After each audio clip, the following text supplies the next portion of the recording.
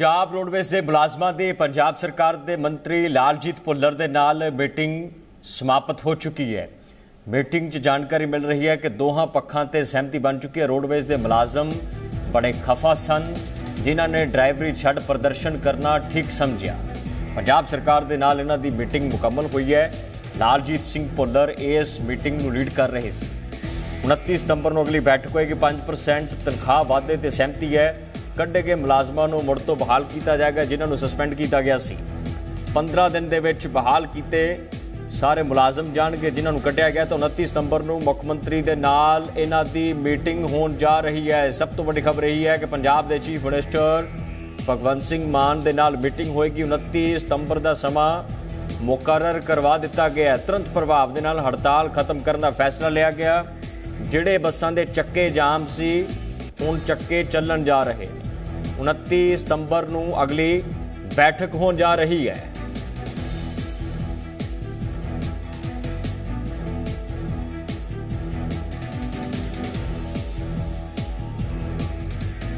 ਤਾਂ ਕਈ ਮੰਗਾਂ ਦਾ ਜ਼ਿਕਰ ਕੀਤਾ, ਜਿਹੜੀਆਂ ਮੰਗਾਂ ਮੰਨੀਆਂ ਗਈਆਂ ਨੇ 29 ਸਤੰਬਰ ਨੂੰ ਅਗਲੀ ਬੈਠਕ ਹੋ ਰਹੀ ਹੈ। ਤਾਂ ਮੰਗਾਂ ਇਹਨਾਂ ਦੇ ਵਿੱਚ ਸੀ ਕਿ 5% ਤਨਖਾਹ ਵਾਧਾ।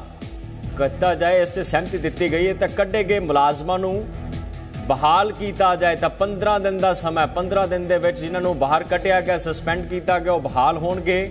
ਤਾਂ 29 ਸਤੰਬਰ ਨੂੰ ਪੰਜਾਬ ਦੇ ਮੁੱਖ ਮੰਤਰੀ ਭਗਵੰਤ ਮਾਨ ਦੇ ਨਾਲ ਇੱਕ ਬੈਠਕ ਹੋਣ ਜਾ ਰਹੀ ਹੈ। ਤੁਰੰਤ ਪ੍ਰਭਾਵ ਨਾਲ ਹੜਤਾਲ ਖਤਮ ਕਰਕੇ ਬੱਸਾਂ 'ਚ ਬੈਠਣ ਦਾ ਹੁਕਮ ਦਿੱਤਾ ਗਿਆ ਕਿ ਜਿਹੜੀਆਂ ਬੱਸਾਂ ਕਰਕੇ ਲੋਕ ਪਰੇਸ਼ਾਨ ਸੀ, ਉਹਨਾਂ ਬੱਸਾਂ ਨੂੰ ਚਲਾਓ। ਬੱਸਾਂ, ਐਮਰਜੈਂਸੀ ਵਾਹਨ ਨੇ ਪੰਜਾਬ ਦੇ ਵਿੱਚ ਵੱਡਾ ਤਬਕਾ ਇਹਨਾਂ ਬੱਸਾਂ ਦੀ ਸਟ੍ਰਾਈਕ ਤੋਂ ਪ੍ਰਭਾਵਿਤ ਸੀ। ਰੋਹਿਤ ਬੰਸਲ, ਜਾਣਕਾਰੀ ਦੀ ਸੰਚ ਪਰ ਰੋਹਿਤ, ਵੱਡਾ ਦਿਲ ਸਰਕਾਰ ਨੇ ਦਿਖਾਇਆ ਹੈ।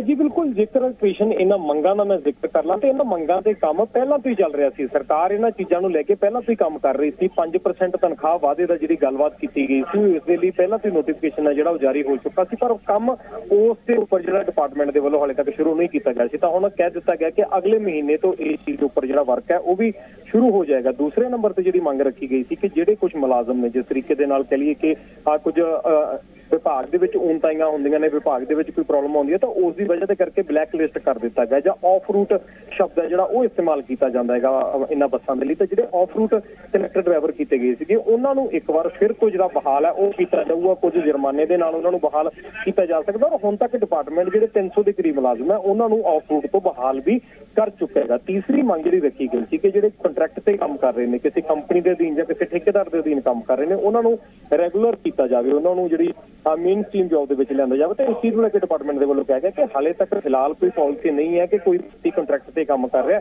ਤੇ ਉਸ ਨੂੰ ਸਿੱਧਾ ਅਸੀਂ ਆਪਣੀ ਜਿਹੜੀ ਕਹ ਲਈਏ ਕਿ ਜੌਬ ਤੇ ਲਈਏ। ਕੱਚੇ ਮੁਲਾਜ਼ਮਾਂ ਨੂੰ ਪੱਕਾ ਕਰਨਾ ਇੱਕ ਅਲੱਗ ਚੀਜ਼ ਹੈ, ਪਰ ਕੰਟਰੈਕਚੁਅਲ ਮੁਲਾਜ਼ਮਾਂ ਨੂੰ ਕਿਸ ਤਰੀਕੇ ਨਾਲ ਮੇਨ ਸਟ੍ਰੀਮ ਦੇ ਵਿੱਚ ਲਿਆਂਦਾ ਜਾਵੇ, ਇਹ ਚੀਜ਼ ਨੂੰ ਲੈ ਕੇ ਜਿਹੜੀ ਵਿਚਾਰ ਚਰਚਾ ਉਹ ਕੀਤੀ ਜਾਏਗੀ। ਤਾਂ ਇਹਨਾਂ ਮੰਗਾਂ ਨੂੰ ਲੈ ਕੇ ਜਿਹੜੀ ਅੱਜ ਸਹਿਮਤੀ ਬਣੀ ਹੈ ਔਰ ਉਸ ਤੋਂ ਬਾਅਦ ਜਿਹੜਾ ਹੁਣ ਕਹਿ ਲਈਏ ਕਿ ਜਿਹੜੀ ਹੜਤਾਲ ਹੈ, ਉਹ ਤੁਰੰਤ ਪ੍ਰਭਾਵ ਦੇ ਨਾਲ ਖਤਮ ਕਰ ਦਿੱਤੀ ਗਈ ਔਰ 29 ਸਤੰਬਰ ਨੂੰ ਜਿਹੜੀ ਮੀਟਿੰਗ ਹੈ, ਉਹ ਮੁੱਖ ਮੰਤਰੀ ਪੰਜਾਬ ਦੇ ਨਾਲ ਕਿਹਾ ਜਾ ਰਿਹਾ ਕਿ ਕਰਵਾਈ ਜਾਏਗੀ ਔਰ ਮੁੱਖ ਮੰਤਰੀ ਦੇ ਵੱਲੋਂ ਜਿਹੜੀ ਇੱਕ ਮੇਨ ਮੰਗ ਹੈ ਕਿ ਜਿਹੜੇ ਕੰਟਰੈਕਟ ਦੇ ਮੁਲਾਜ਼ਮ ਨੇ, ਜਿਹੜੇ ਕਿਸੇ ਠੇਕੇਦਾਰ ਦੇ ਨਾਲ ਕੰਮ ਕਰਦੇ ਨੇ, ਉਹ ਠੇਕੇਦਾਰੀ ਸਿਸਟਮ ਖਤਮ ਕਰਕੇ ਸਿੱਧੀ ਭਰਤੀ ਕੀਤੀ ਜਾਵੇ। ਇਸ ਚੀਜ਼ ਨੂੰ ਲੈ ਕੇ ਮੁੱਖ ਮੰਤਰੀ ਦੇ ਨਾਲ ਮੀਟਿੰਗ ਹੋਈ ਔਰ ਮੁੱਖ ਮੰਤਰੀ ਦੇ ਵੱਲੋਂ ਕੀ ਜਿਹੜੀ ਕਹਿ ਲਈਏ ਕਿ ਸਹਿਮਤੀ ਹੈ, ਉਹ ਦਿੱਤੀ ਜਾਂਦੀ ਹੈ ਕਿ ਉਸ ਤੋਂ ਬਾਅਦ ਜਿਹੜਾ ਅਗਲਾ ਫੈਸਲਾ ਕੋਈ ਲਿਆ ਜਾਏਗਾ। ਪਰ ਫਿਲਹਾਲ ਦੀ ਘੜੀ ਜਿਹੜੀ ਅੱਜ ਸਟ੍ਰਾਈਕ ਸਵੇਰ ਤੋਂ ਸ਼ੁਰੂ ਹੋਈ ਸੀ ਜਿਸ ਦੇ ਨਾਲ ਕਰੀਬ ਕਰੀਬ 2000 ਤੋਂ ਲੈ ਕੇ 2500 ਤੱਕ ਦੇ ਜਿਹੜੀਆਂ ਬੱਸਾਂ ਸੀ ਉਹ ਰੁਕ ਗਈਆਂ ਇੱਕ ਵਾਰ ਫਿਰ ਤੋਂ ਜਿਹੜੀਆਂ ਬੱਸਾਂ ਉਹ ਚੱਲਣੀਆਂ ਸ਼ੁਰੂ ਹੋ ਜਾਣਗੀਆਂ ਔਰ ਆਮ ਲੋਕਾਂ ਦੇ ਜਿਹੜੀ ਕਲੀ ਇੱਕ ਦੁਬਦਾ ਸੀ ਉਹ ਜ਼ਰੂਰ ਦੂਰ ਹੁੰਦੀ ਨਜ਼ਰ ਆਈ ਜਿਸ ਹੜਤਾਲ ਖਤਮ ਹੋਣ ਤੋਂ ਬਾਅਦ। ਜੀ।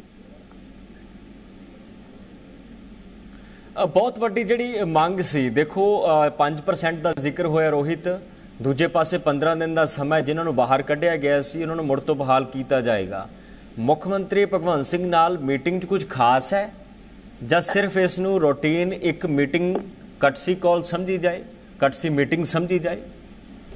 ਬਿਲਕੁਲ, ਜਦੋਂ ਕਿਸੇ ਵੀ ਸਟੇਟ ਦਾ ਮੁੱਖ ਮੰਤਰੀ ਹੈ, ਤਾਂ ਆਪਾਂ ਆਮ ਸ਼ਬਦਾਂ 'ਚ ਕਹਿੰਦੇ ਹਾਂ ਕਿ ਮੁੱਖ ਮੰਤਰੀ ਸਟੇਟ ਦਾ ਮਾਲਕ ਹੁੰਦਾ ਹੈਗਾ। ਪਾਲਿਸੀਆਂ ਬਣਾਉਣਾ ਬੇਸ਼ੱਕ ਅਧਿਕਾਰੀਆਂ ਦਾ ਕੰਮ ਹੈ, ਪਰ ਪਾਲਿਸੀ ਬਣਾਈ ਕਿਸ ਚੀਜ਼ ਨੂੰ ਲੈ ਕੇ ਜਾਵੇ, ਇਹ ਮੁੱਖ ਮੰਤਰੀ ਦਾ ਕੰਮ ਹੁੰਦਾ। ਟਰਾਂਸਪੋਰਟ ਡਿਪਾਰਟਮੈਂਟ ਦਾ ਕੰਮ ਕੇਵਲ ਟਰਾਂਸਪੋਰਟ ਸੰਭਾਲਣਾ, ਪਰ ਫਾਈਨਾਂਸ ਕਿੰਨਾ ਆ ਰਿਹਾ ਹੈਗਾ, ਕਿਉਂਕਿ ਜਦੋਂ ਕੋਈ ਮੁਲਾਜ਼ਮਾਂ ਨੂੰ ਕੰਟਰੈਕਚੁਅਲ ਤੋਂ ਸਿੱਧਾ ਰੈਗੂਲਰ ਕੀਤਾ ਜਾਂਦਾ, ਬਹੁਤ ਸਾਰਾ ਪੈਸਾ ਉਸ ਚੀਜ਼ ਦੇ ਲਈ ਚਾਹੀਦਾ ਹੁੰਦਾ ਹੈਗਾ ਕਿ ਸਰਕਾਰ ਉਹ ਖਰਚਣ ਦੇ ਲਈ ਤਿਆਰ ਹੈ ਜਾਂ ਸਰਕਾਰ ਕੋਲੇ ਇੰਨੀ ਸਮਰੱਥਾ ਹੈ ਔਰ ਇਸ ਚੀਜ਼ ਦੀ ਪ੍ਰੋਸੈਸ ਕਿਸ ਤਰੀਕੇ ਦੇ ਨਾਲ ਰਹੇਗਾ ਪਾਲਿਸੀ ਕਿਸ ਤਰੀਕੇ ਨਾਲ ਰਹੇਗੀ ਕਿਉਂਕਿ ਕੋਈ ਵੀ ਪਾਲਿਸੀ ਹੈ ਜਿਹੜੀ ਉਹ ਇੱਕ ਡਿਪਾਰਟਮੈਂਟ ਦੇ ਲਈ ਤਿਆਰ ਨਹੀਂ ਕੀਤੀ ਜਾ ਸਕਦੀ ਬਹੁਤ ਸਾਰੇ ਅਲੱਗ-ਅਲੱਗ ਡਿਪਾਰਟਮੈਂਟ ਨੇਗੇ ਜਿਨ੍ਹਾਂ ਦੇ ਵਿੱਚ ਬਹੁਤ ਸਾਰੇ ਮੁਲਾਜ਼ਮ ਕੰਟਰੈਕਟ ਤੇ ਕੰਮ ਕਰਦੇ ਤਾਂ ਕੀ ਉਹਨਾਂ ਨੂੰ ਵੀ ਫਿਰ ਪੱਕਾ ਕੀਤਾ ਜਾਏਗਾ ਔਰ ਕਿਸ ਤਰੀਕੇ ਦੇ ਨਾਲ ਹੋ ਸਕਦਾ ਇਹ तमाम ਚੀਜ਼ਾਂ ਹੁੰਦੀਆਂ ਨੇ ਕਿਉਂਕਿ ਕਦੋਂ ਜਦੋਂ ਵੀ ਕੋਈ ਜੌਬ ਕੱਢਣੀ ਹੁੰਦੀ ਹੈ ਤਾਂ ਉਸ ਦੇ ਲਈ ਬਕਾਇਦਾ ਤੌਰ ਤੇ ਇੱਕ ਇਸ਼ਤਿਹਾਰ ਜਾਰੀ ਕੀਤਾ ਜਾਂਦਾ ਉਸ ਤੋਂ ਬਾਅਦ ਉਹਨਾਂ ਦੇ ਫਾਰਮ ਭਰਵਾਏ ਜਾਂਦੇ ਨੇ ਟੈਸਟ ਹੁੰਦੇ ਨੇ ਉਸ ਤੋਂ ਬਾਅਦ ਹੀ ਕਿਸੇ ਮੁਲਾਜ਼ਮ ਨੂੰ ਪੱਕਾ ਕੀਤਾ ਜਾਂਦਾ। ਪਰ ਇਹ ਜਿਹੜੀ ਕਹਿ ਲਈਏ ਕਿ ਇੱਕ ਸਰਕਾਰ ਦੇ ਵੱਲੋਂ ਕੱਚੇ ਤੌਰ ਤੇ ਭਰਤੀ ਨਹੀਂ ਕੀਤੀ ਗਈ, ਬਲਕਿ ਸਰਕਾਰ ਦੇ ਵੱਲੋਂ ਇੱਕ ਏਜੰਸੀ ਹਾਇਰ ਕੀਤੀ ਗਈ ਸੀ। ਉਹ ਏਜੰਸੀ ਦੇ ਅੰਡਰ ਇਹ ਵਿਅਕਤੀ ਹੈ ਜਿਹੜੇ ਉਹ ਕੰਮ ਕਰ ਰਿਹਾ ਤਾਂ ਜਿਹੇ ਦੇ ਵਿੱਚ ਸਰਕਾਰ ਦੇ ਲਈ ਵੀ ਆਸਾਨ ਨਹੀਂ ਹੁੰਦਾ ਕਿ ਸਿੱਧੇ ਤੌਰ ਤੇ ਉਸ ਏਜੰਸੀ ਦੇ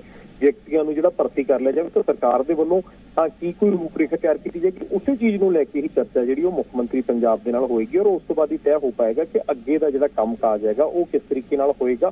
ਪਰ ਇਹ ਜਿਹੜੇ। ਮੁਲਾਜ਼ਮ ਕਿਸੇ ਏਜੰਸੀ ਦੇ ਥਰੂ ਪੰਜਾਬ ਸਰਕਾਰ ਨਾਲ ਕੰਮ ਕਰ ਰਿਹਾ ਉਹਨਾਂ ਨੂੰ ਮੇਨ ਸਟ੍ਰੀਮ ਦੇ ਵਿੱਚ ਕੀ ਲਿਆਂਦਾ ਜਾ ਸਕਦਾ ਔਰ ਜੇਕਰ ਲਿਆਂਦਾ ਜਾ ਸਕਦਾ ਤਾਂ ਕੀ ਪ੍ਰੋਸੈਸ ਫਾਲੋ ਅਪ ਕੀਤਾ ਜਾਏਗਾ ਜਿਸ ਦੇ ਨਾਲ ਇਹ ਮੁਲਾਜ਼ਮ ਪੰਜਾਬ ਸਰਕਾਰ ਦੇ ਮੇਨ ਮੁਲਾਜ਼ਮ ਦੇ ਤੌਰ ਤੇ ਕੰਮ ਕਰ ਸਕਣ